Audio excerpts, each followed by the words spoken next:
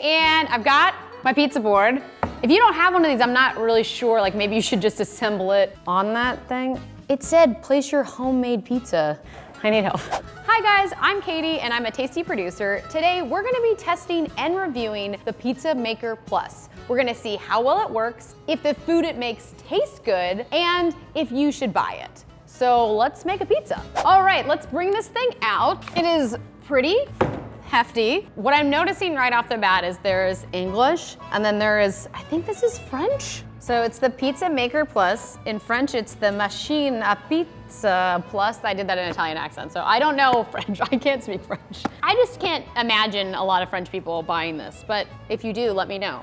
They have a lovely pizza. They're getting a nice cheese pull here. I'm skeptical of this cheese pull, but maybe I shouldn't be. We're gonna use mozzarella when I make pizza, which should give us a pretty good cheese pull. Their pizza's got a lot of toppings on it, some raw onions. I know that not everyone's a fan of that, but they like it. And there's got some pepperonis, and the pepperonis look like they have a nice little crisp on the edges. We'll see if that happens when we do it. I'm a little skeptical.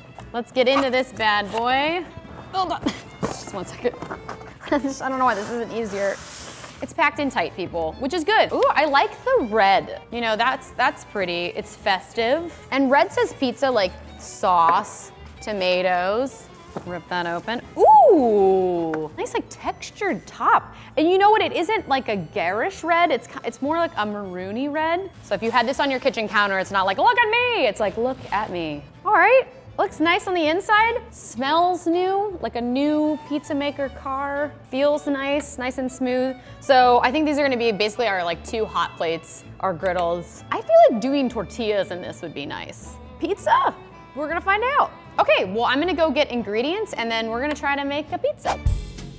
Okay, I've got all my ingredients to make a pizza. I started to read the instructions. I know that I need olive oil. It also says that this whole thing gets very hot, so use mitts gonna do that. Before I get into that, I am going to flour my surface here. This is a fun part. I like making pizza because you get to play with dough. Love pizza. It's my go-to thing that I make on the weekends or like order. Just when I'm having friends over or a game night, I'm obsessed with pizza. I'm also obsessed with cheese who doesn't love cheese? So pizza is basically just a vessel for cheese, isn't it? I love thin crust pizza, so I'm rolling this out pretty thin. So as they said in the instructions, I'm gonna brush this down to help the non-stick. This will just ensure, I guess, that nothing does stick to this pan, because I think cleaning this is gonna be a little bit tricky. Lift the lid upright carefully, place your homemade or frozen pizza. So I have to make it before I place it on there. I'm just using some like jar marinara, but I'm adding some garlic. It just takes the flavor up a notch, and I love garlic. This looks good, and I'm just gonna spread some of that on my pizza. I'm not a huge sauce lady. I'm gonna need a pizza board to transfer this because this could be a mess. So now I'm gonna add cheese. Again, I love cheese. Try to get that nice cheese pull that they had on the box. And mozzarella, just so you guys know, is a great pulley cheese. We're doing little baby pepperonis because I think they're fun. Okay, well they're not that little. They're like the size of my eye. That looks like a, you know, a normal pizza. Now I gotta transfer it into that. I think this thing is gonna mold it back into it. So we're just gonna slide it off. Relatively easy. I am going to close it up now. I used my bare hand, it wasn't too hot, but do use the mitt if you have it. Now, let's read how long. Most pizzas will be ready in approximately 10 to 25 minutes or until the cheese bubbles and turns golden brown. Take note of perfect baking times for each type of pizza you create for future reference. So I guess you need to have a pizza journal for this product where you are journaling every time you make a pizza on like the best times, how long it took. All right, we'll be back in 10 minutes. We are five minutes in and there's smoke, ladies and gentlemen. This thing, I don't think it's on fire or maybe it is. Look how much smoke there is. This is making me concerned. There's also a fire alarm right above us. I'm very concerned. I'm, I think I should check on it. Oh my God.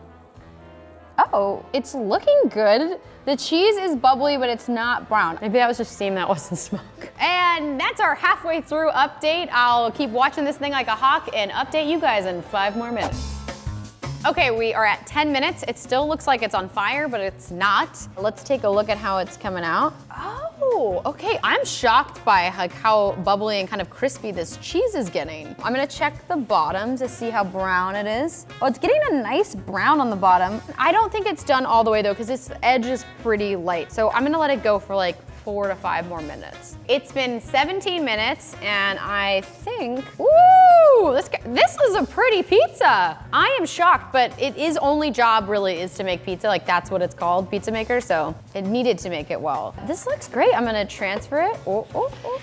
And it says to unplug it as soon as you're finished. So I'm gonna do that right now. It would be great if these things had on and off buttons, but no. It also says keep away from your children when using this. So this is not a kids interact with you thing even though kids love pizza. Let's look at the bottom. It is nice and golden brown. I would have loved for the edges to get a little bit more brown, but I feel like our cheese was gonna start to burn. So you got like nice crusty cheese right there. I don't wanna get too much more crusty. Okay, to finish this off, I'm gonna put some basil on top. I, I always think a little green, never hurt anyone, and it smells so delicious. I'm gonna shred it up because I don't have a lot. You could do whole leaves, but with the pepperoni, I feel like you wanna go a little smaller. I learned this little trick from my friend Joe Sasto. He likes to sprinkle his with a little sea salt at the end, and I think it adds a great little flavor and it just makes it look really, really fancy, even though this wasn't that fancy. The only thing we now need to do is cut into this and try it. I've sliced the pizza, now it's time to test it out. Ooh. Oh, it looks nice and cooked through it. It's not too droopy. I'm liking this. Okay, here we go. Mmm. So hot. I am shocked how well that cooked that pizza dough. It has a nice crust on the bottom that cooks so nicely. And the pepperonis are nice and crisp. Maybe they could have gotten like a little bit crispier, like that's also causing some of the oil on top. I think this is pretty comparable to a normal oven. I think you would have gotten a better bake on the edges of your pizza, but I'm pretty impressed with the, the crunch of the cheese on top. Obviously, you kind of made it at home. It tastes a little bit more like delivery pizza than like a fancy pizza that you would have gotten in like a brick oven or something. For taste, I would give this pizza a B+. plus. All right, that made a pretty good pizza. I was impressed. And as far as the cleanup, this didn't get too messy. None of the cheese like burned and stuck to it. I think all I would need to do is get a paper towel with some soap and water and wipe it out. If you know someone that loves gadgets and they love pizza, it might make a great gift for the holidays. It's definitely not necessary, but it did work. Also, the box says it can make nachos, s'mores, a big cookie, like one of those giant cookies you can put ice cream on. So it does make plus stuff. Overall, I'm gonna give this a thumbs in the middle. It worked well, but I'm not sure it's necessary. Like, I don't think you need it, but it is cool. Oh, yes.